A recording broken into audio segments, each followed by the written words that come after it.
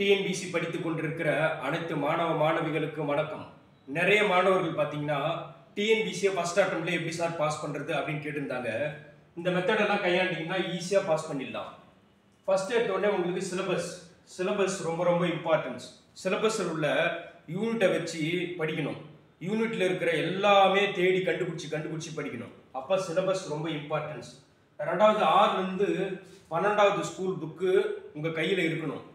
ஒரு புக்கு கூட இல்லாமல் இருக்கக்கூடாது. எல்லா புக்கும் உங்கள் கையில் இருக்கணும். அப்போ ஸ்கூல் புக்கில் இருந்தால் எல்லா கொஸ்டின்ஸும் கேட்குறாங்க மூணாவது பார்த்தீங்கன்னா ஒரு பத்து வருஷம் டிஎன்பிசி மாடல் கொஸ்டின்ஸ் பேப்பர் உங்கள் கையில் இருக்கணும்.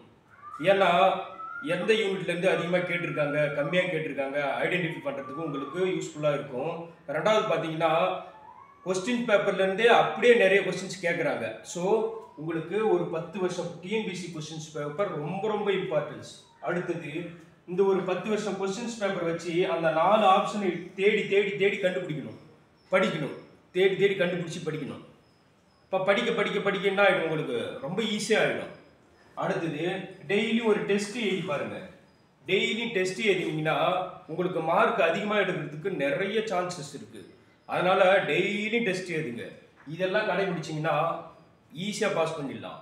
அனைவரும் வெற்றி பெற எமது விடியல் பயிற்சி மையம் நெஞ்சார வாழ்த்துக்கிறோம் தேங்க்யூ